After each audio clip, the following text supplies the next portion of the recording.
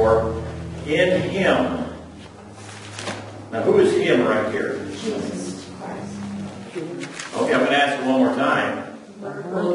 It's the Word. Okay?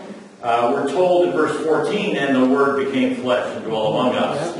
All right? So in him was life, and the life was the light of men. Let's have a word of prayer. Father, I do thank thee for today and for all the blessings that uh, we have in heavenly places in Christ Jesus.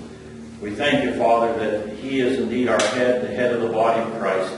And I pray as we uh, examine this morning here uh, what life is, that you'll bless our hearts with it. Uh, might you give us a greater understanding of the work that you did through your Son, our Lord Jesus Christ. Might we appreciate it more in order to carry it out to folks that need to hear it. Well, thank you for that in Christ's name. And amen. Amen. Now, a great piece of work, or piece of music, I should say, the composers often begin by stating the themes almost immediately, which are to be elaborated during the course of the music, concert, or whatever you want to call that. Now, John does the same thing. And right here in verse number 4, he says, In him was life, and the life was the what of men? Life was the light of men. And so what we find is that John, throughout his gospel, is going to build the gospel around life and light.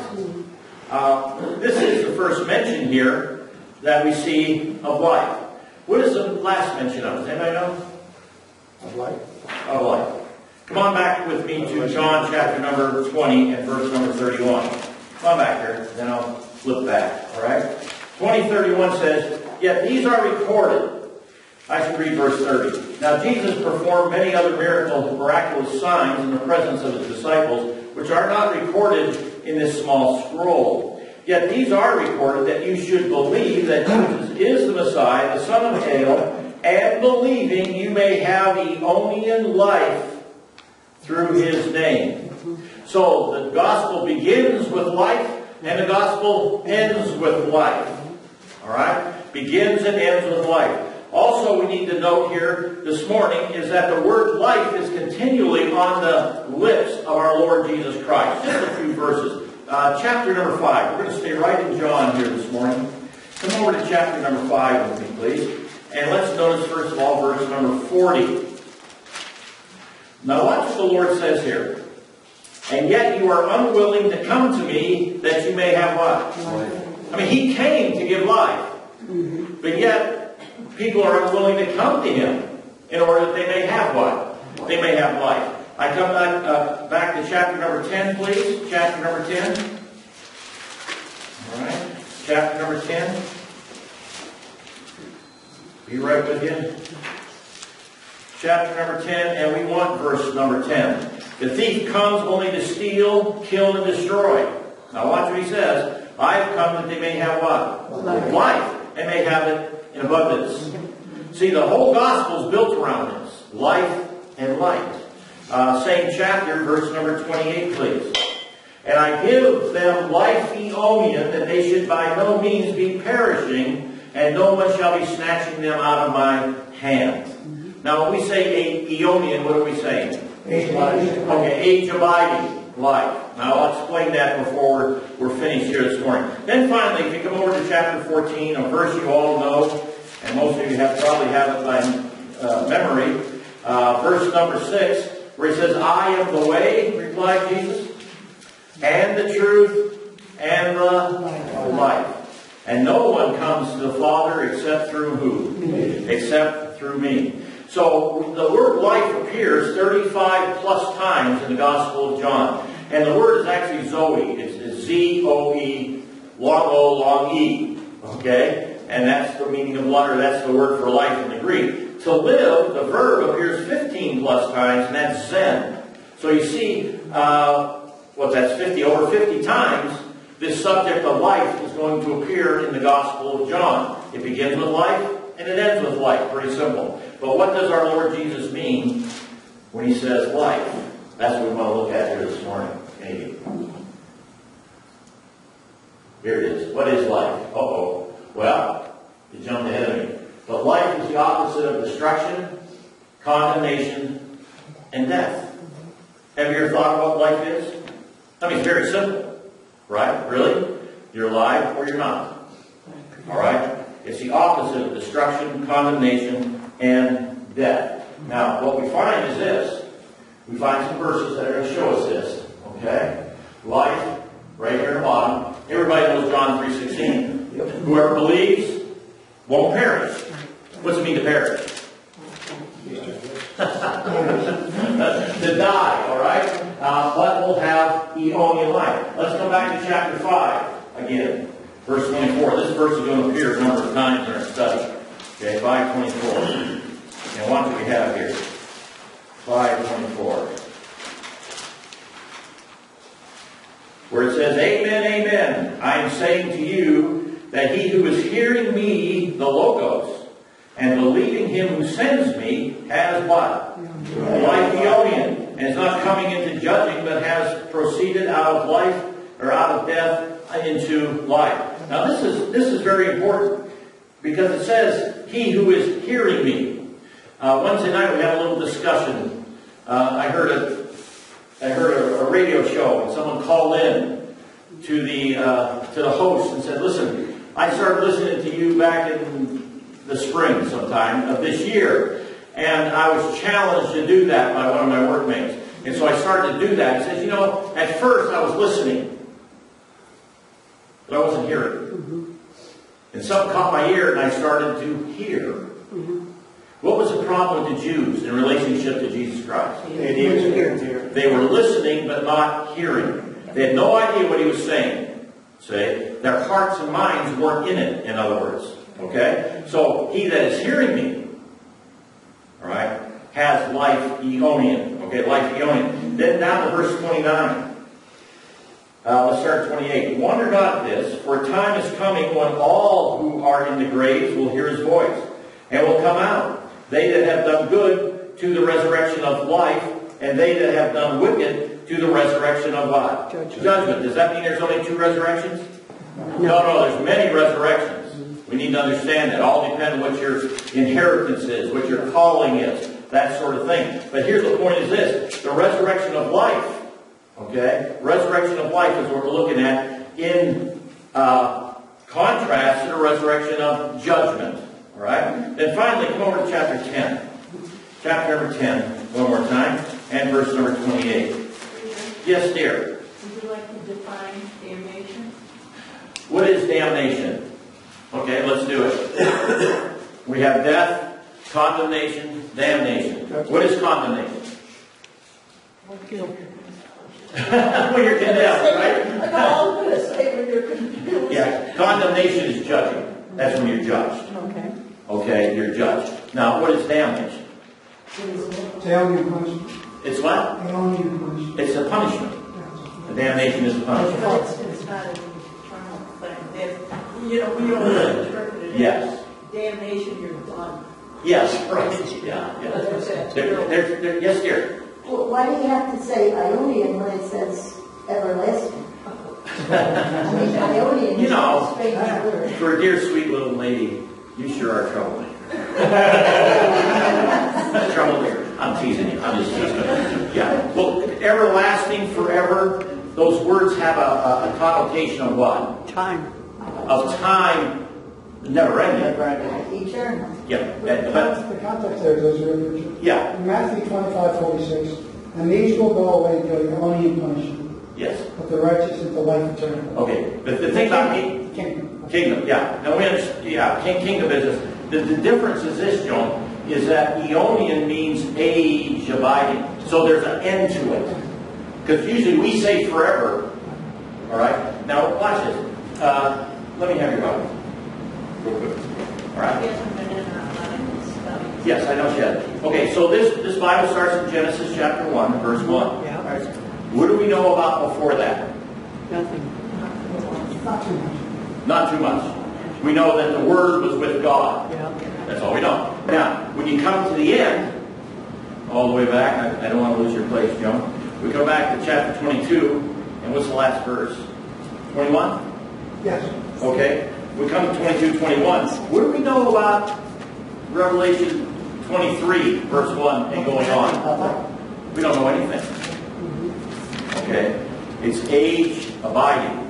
Okay, and that's what that chart shows us in the back. In other words, at, in the beginning here, God was all in himself. And what we do know, that there's a time coming, uh, 1 Corinthians 15, when God is going to be what? All in all. All in all. And so he's working us to that. So the words that we see, when we see forever, eternal, and I'm going to get to those in a minute, the word eternal. Means without end. Yeah, it means without end. So uh, we have no idea what's going to happen. Okay? In other words, what our, we're going to have be, the whole creation is going to be in a relationship with God. I even believe my dog is. Believe? My dog. My dog is part of creation, Yes, right? My dog has life. yes. It's not a robot. No. See, I think God's going to raise everything, mm-hmm. everybody, as Mr. Selma says, in its course. Mm-hmm. All right, that, that we have. So the reason that Eonian and Aeonian are the words that are used by the by the original writers, Paul, the Lord Jesus Christ, the prophets. You see, and what we've done is is taken that word and made it forever and everlasting and eternal. Where in light, there's only one eternal, which I'll show you in a minute. Okay? So I hope that explains a little bit there. But as we see that. So where were we? 1028? Did we already read it? Okay? No?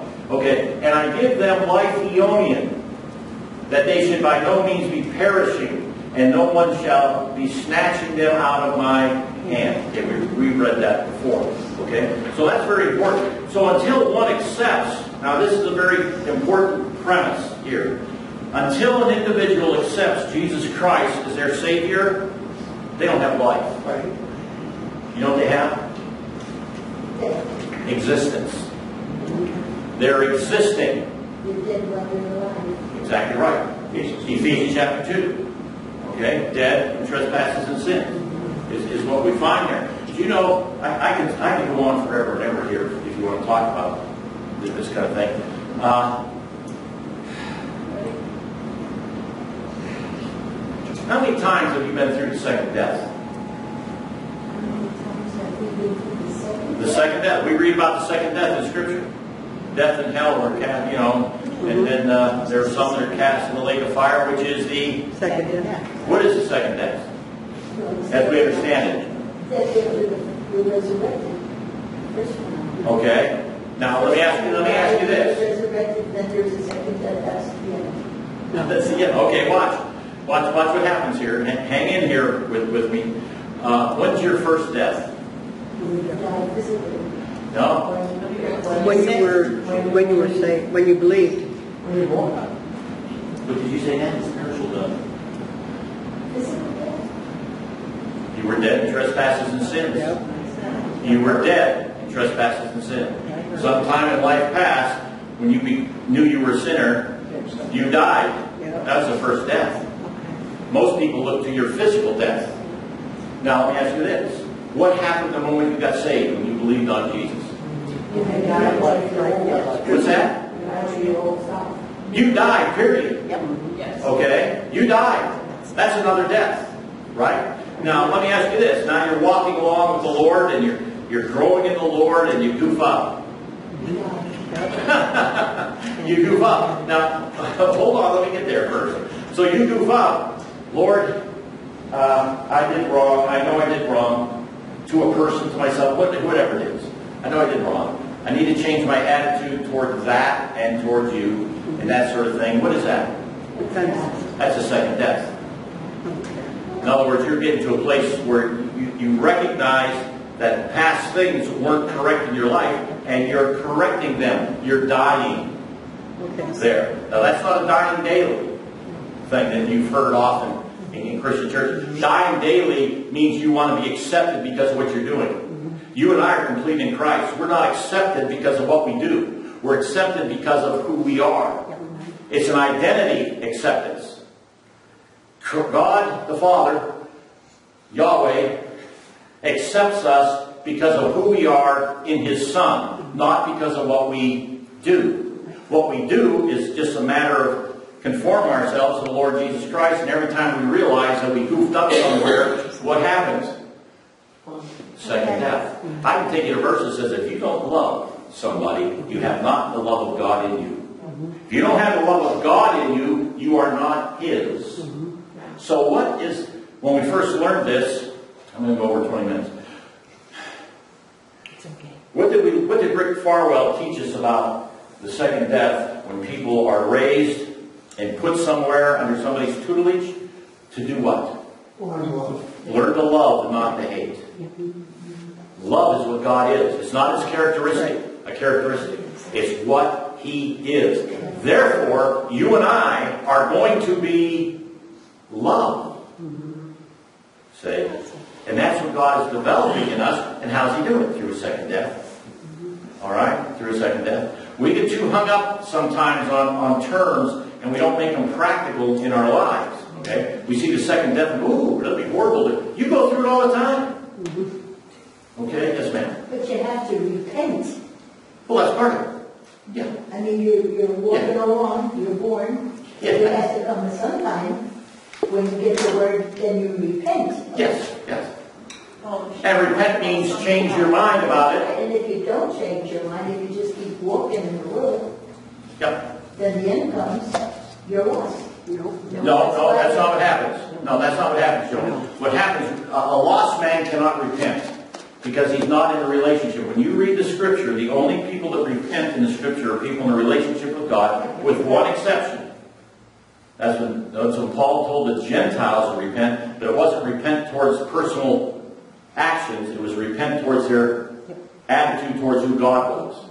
Okay, that's, that's, and you read that in 1 Thessalonians chapter 1 and 10, okay? So what happens after I get saved, now I'm in a relationship, now I know better, now I can start repenting mm-hmm. of, of what is wrong in my life and get it straightened out, okay? And unless you repent, ye shall all likewise perish. Right, and who's he talking to there?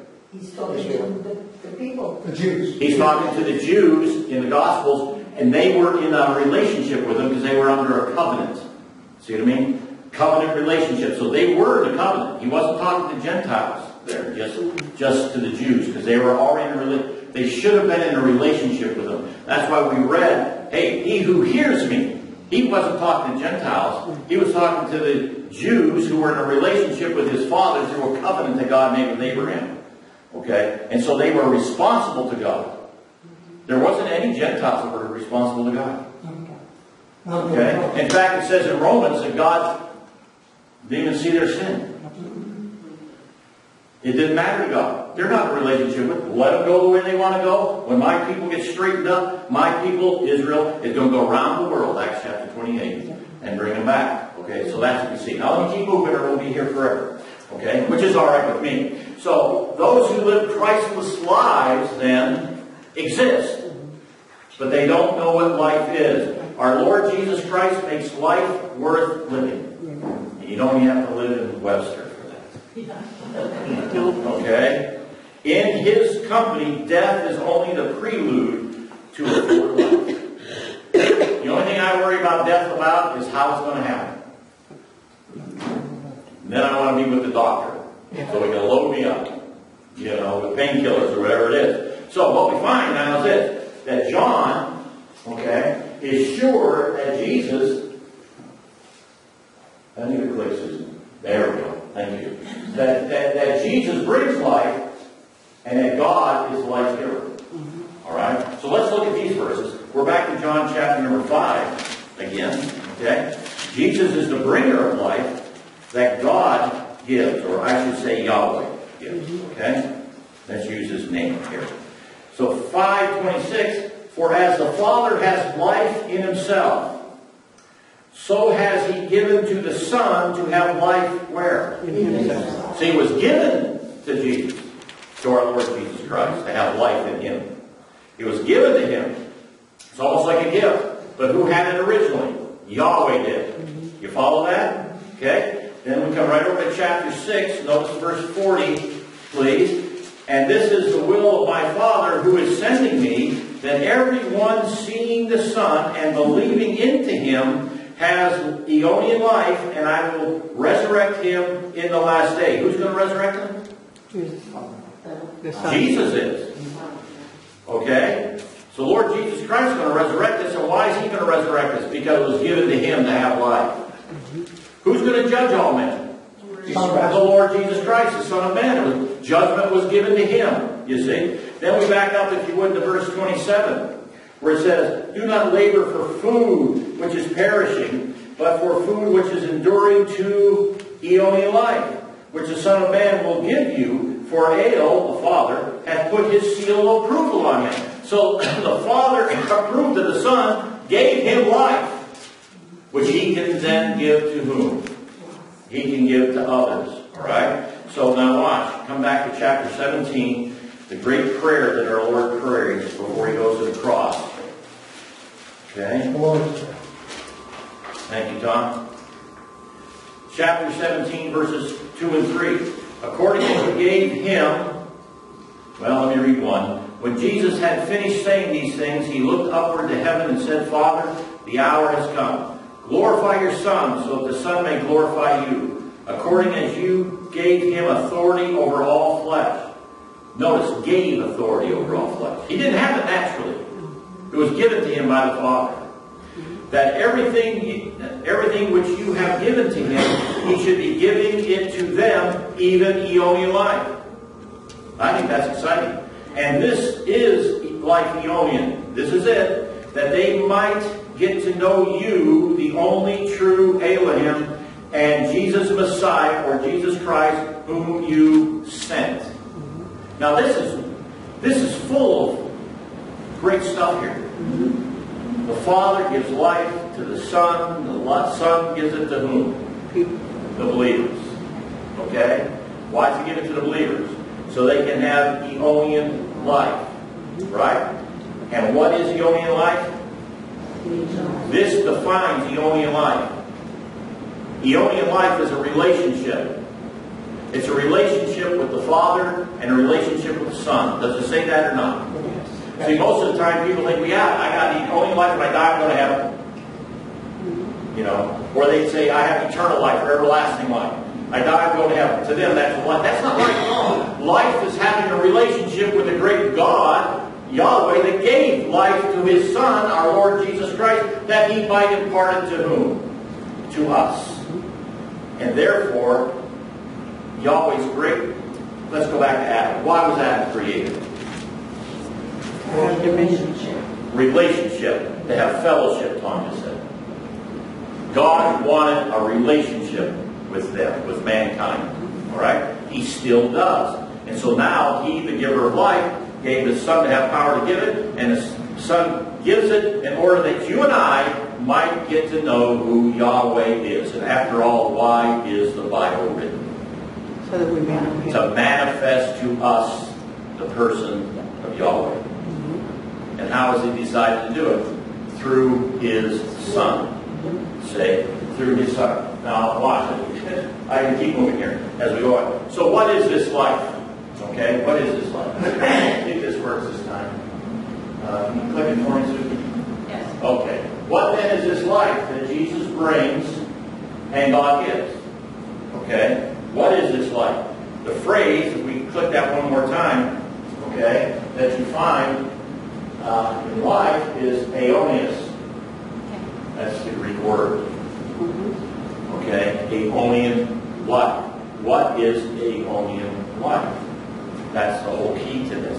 What is Aeonian life? It's not simply life that lasts forever. Aeonian life must be more than duration of life.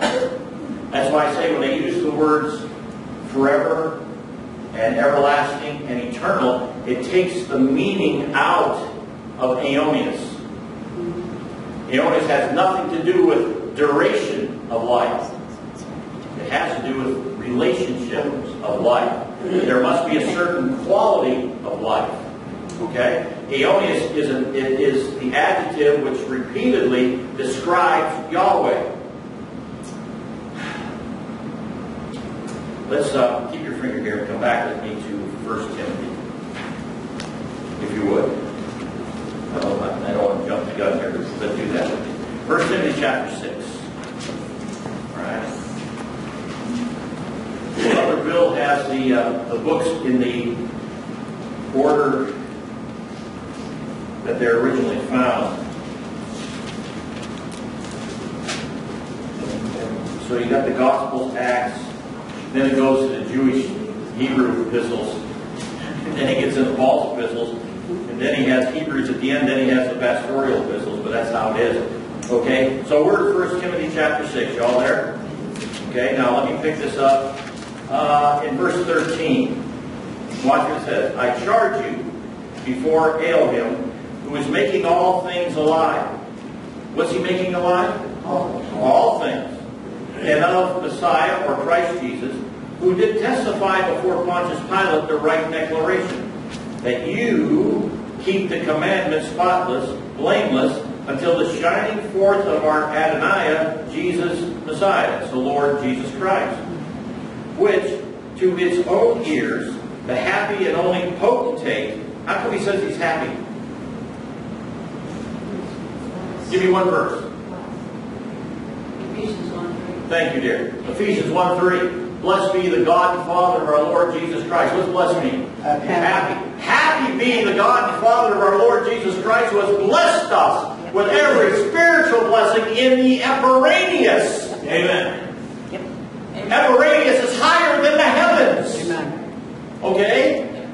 We don't have to be concerned about what's going on here. That's why when he comes back to get the saints in chapter 4 of Thessalonians, he comes back to the air. That's not my hope. My hope is when I appear, I'll appear with him in the Eperanius. Way up there, where he already is sitting waiting for me. Yeah. Okay? Now watch what it says here. Which to its own errors, the happy and only potentate will be showing he is sovereign of sovereigns and Adonai of Adonai, in other words, Lord of lords, who alone has what? Immortality. So what's that tell you? He never died. There's only one that has immortality. One. Therefore, there's only one who can be eternal.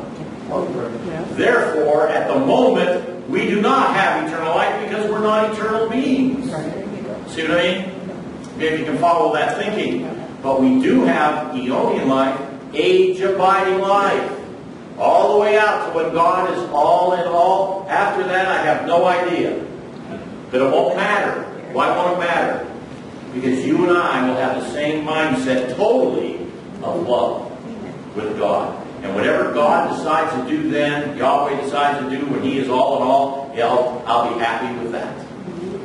See? I'll be happy with that. Only He, immortality. This is written of the Lord Jesus Christ, by the way, who is dwelling in light unapproachable. Doesn't James talk about that? Yeah. He's, he's dwelling in the light that no man can approach unto, right? Which tells me when people die, they can't be in heaven. They can't approach unto God because they don't have a glorified body in which to do it. See? Whom no man has seen, nor can see, to whom be honor and might. Brother Bill translated might, Eonian. And power. And amen. Okay? And amen. So, where am I now? I almost lost my place. So, Aeonian is the adjective which is repeatedly describes Yahweh because he's the only one. Okay? That is immortal. That is eternal. Like in First Timothy one seventeen. Yes. First, oh, I'm sorry, I'm out of Timothy. Let me get back to Timothy. Read it for us, John. In First Timothy one seventeen, now unto the King eternal, immortal, invisible, the only wise God, There you be go. honor and glory forever and ever. Amen. Amen. So who's immortal there? And eternal? Only, only him. Not us. That's what it says. Yep, that's what he says. It doesn't say now unto the King Ionian.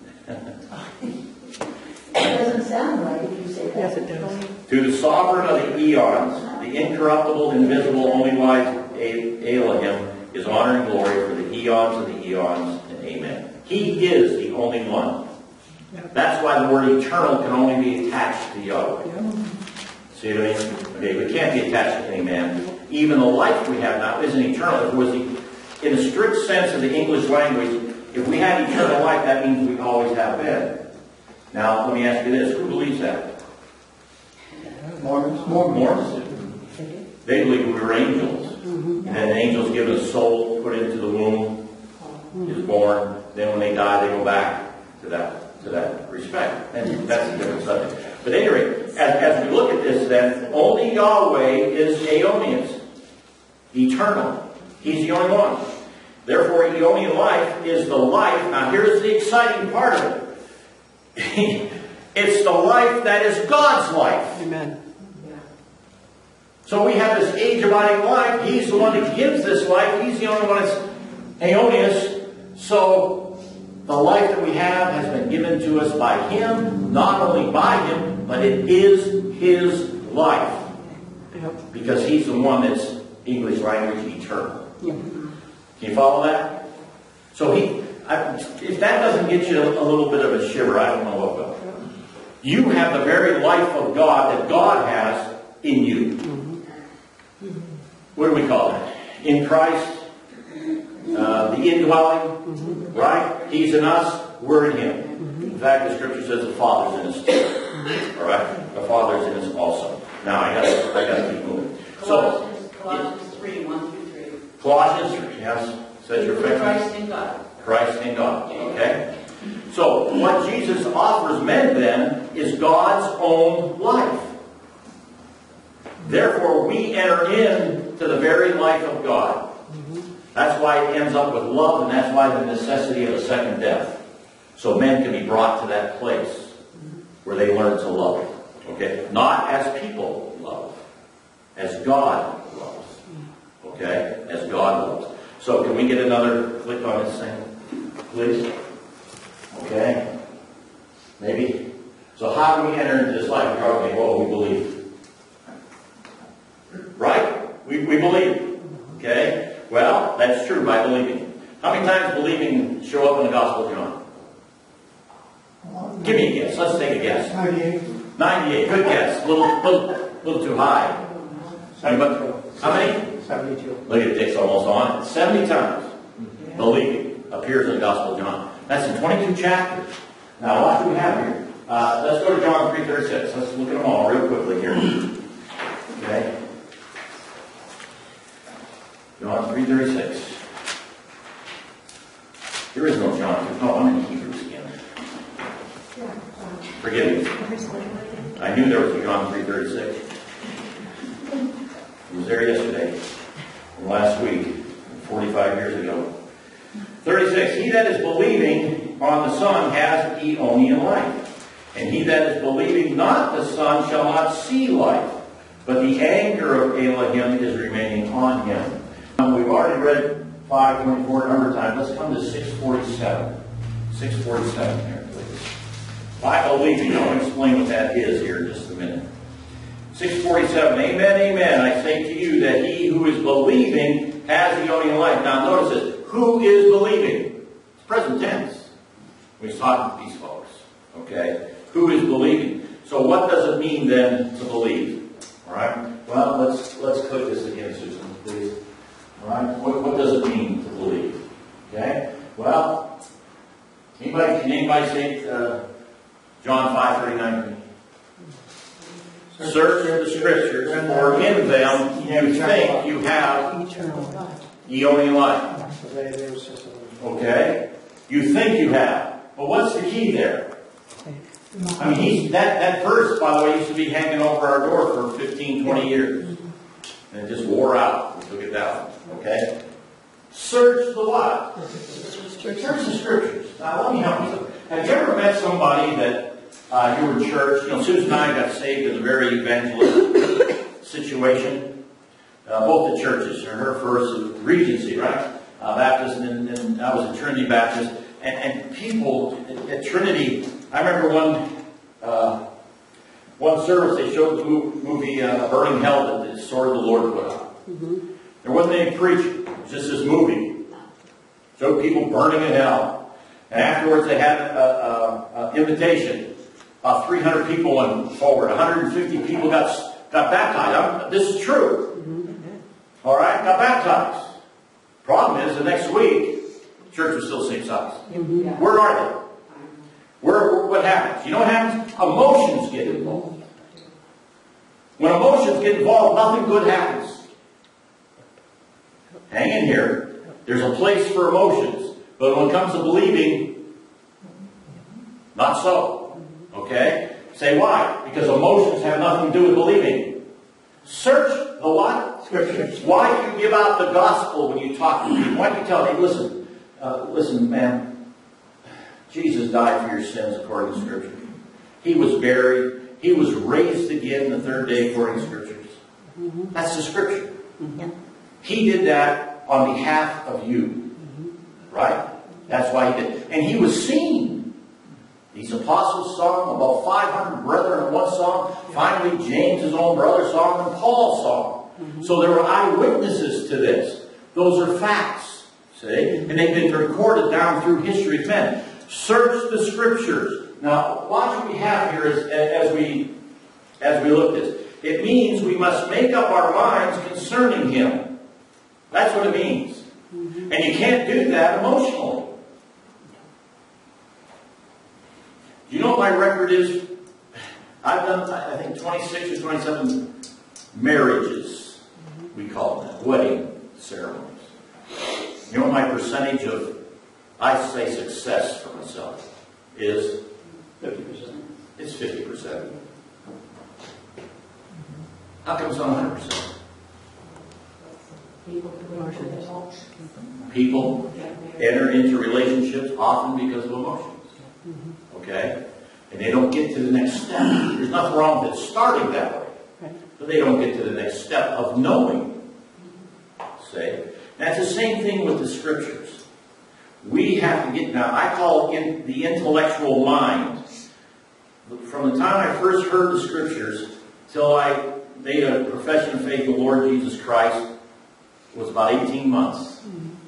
I used, and I went to church every Sunday morning, Sunday night, and Wednesday night, and I was a good Catholic, and I wasn't going to let go of the back of that pew to walk forward for no one. Till finally it dawned on me. My good works and my Catholic background and what I was taught there, that's not the key. The key is entering into a relationship with the one who gave himself for me. Right? But I had to get it up here in my mind before it got to my heart. Now, what makes all your decisions? Your heart. Mm-hmm. The heart's up here. It's not down here. Okay? Now, what happens is this. You intellectually get it. Then it moves into your heart. And belief is taking our Lord Jesus Christ at His word. Mm-hmm. That's what it is. Okay? And, but that only comes after you know what the Word says. You have to know that. If you don't, you can't get the heart. Another word for heart is conviction, by the way. You have a conviction in your own heart that Jesus Christ gave himself on our behalf. That's what it's all about. What we're actually believing is this. I've been telling folks this now for a while. We're believing that God the Father accepted what Jesus Christ did on behalf of mankind. Mm-hmm. That's what I remember when Susan got saved. She was singing in the choir at Regency Baptist, and I was out in the crowd. We came home from church one Sunday, Sunday afternoon, the kids, and I'm never going back there. Just what she told me. I says, well, why aren't you going back there? That preacher's always pointing at me. Shire, he was a preacher. He was an old southern preacher, you know. I, and I got to thinking, wait a minute. You're sitting back there. He's pointing this way. And she's, so it wasn't him pointing. What was it? Was God. It was the Word of God that was pointing at her. I got up in the morning. She'd been up all night. She says, you know what? I got saved because I believed. She didn't say on the Lord Jesus Christ. She said this to me. I believe God. Amen. And that's what it's all about. You believe God because the word gets in there, moves to your heart, and belief comes. So, I think we need to click this one more time, Susan. So when does this believing? when you believe, you do more than just exist. You believe and live. What is the theme of John? First theme, life. He came to bring life so that men may live. Got it? It begins with life, it ends with life. And the reason it's there is to bring us out of existence to real life. I mean, how many times over the years have, have you heard messages that say the real life isn't here, it's up there? Mm-hmm. Our position is where? It's in heavenly places with Christ Jesus. I'm accepted because of my position in Jesus Christ, not because of what happens here. Okay? And that's how we see that. So, one stops existing and begins living. To me, that's exciting. That's an exciting message to share with people. You don't have to beat them down about their sin at all. Say, listen, pal, you are just existing. Let me show you how to live. Enter into relationship with the one who created you. Here's how it happens. He did it all. Now what? Philippians 1.29 tells us that belief was given to us. When was it given to you? When you searched the Scripture, got it in your mind, got it in your heart, the conviction came. That was the gift of God, according to Ephesians chapter number 2. Not by works, right? It's a gift of God by grace. That's what we need to do. But you know what? We got to come to that place. Why doesn't everybody get saved? How come God just pick out the guy in the street and say, yeah, you're saved? They don't have a word in them. God has to have something to work with. You know, we used to, I remember once, I'll close with this illustration. We were once in a service, a church service. Uh, uh, it was Christmas or something, one of the churches. The preacher said, all right, we're going to take a change offering for the kids. You remember that? And just take all the change out of your pocket, pockets or your purses or whatever, and what we're going to do is, is put that in there for a gift for the baby Jesus. That's what it was, for the baby. All right? And so as the off, as, as all the ushers came down, this is a big church, uh, came, came down, and, and people had their change in their hand, and he says, wait a minute, we can't give a gift unless it's wrapped. There you are. So you had to take a greenback out of your wallet and wrap, wrap the change as a gift. Well, in other words, the gift was inside the dollar bill or ten dollar bill, whatever people want to give. Okay? God's the same way. The word is there. He wants to gift wrap the logos. Who's the logos? Jesus Christ. To give to men. Because that's how he gives. Eonian life. Right? Age, abiding life. And that's what happens. I'm going to close right there.